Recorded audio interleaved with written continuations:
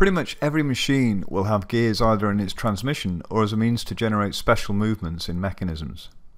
Gears and gear trains can be easily added and manipulated in MD Pro. This video will show you how to add and edit gears.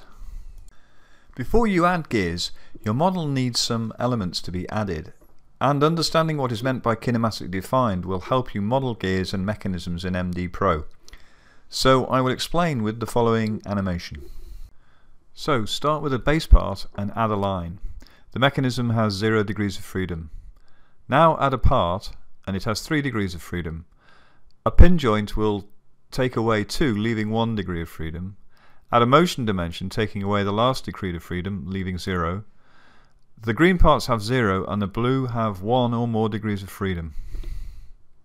Anything that is green is kinematically defined. Generally, you don't need to worry about this. You can add parts and joints in any order you like. After you add each joint or part, MD Pro will try and compose the mechanisms into dyads which have 0 degrees of freedom. If it succeeds, they will turn green, if not, they remain blue.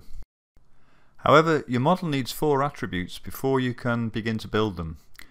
A green kinematically defined line with 0 degrees of freedom, a blue undefined line with 1 degree of freedom, any line joining the previous lines, a dimension defining the length of the linking line, this is the gear pair center distance, and pin joints must share the same coordinates as the linking line.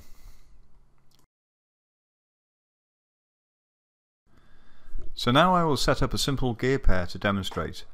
First I will add three lines. The linking line is the one we need to dimension. Then create a zero degree of freedom rocker by adding a part pinned to ground and driven by a motion dimension. And finally, a part just pinned at the other end. These two parts will carry the gear wheels. Okay, just add a clock to drive the motion dimension at constant speed. And now add the gear pair. Green line, blue line, linking line, dimension, and then OK and the gear pair will be drawn. Now the blue part goes green as it is now kinematically defined and if we look in the kinematics tab on the left we can see the gear pair has been composed as a dyad. If you want to edit elements in MD Pro then double click on them in the graphic area and usually an editing form will come up.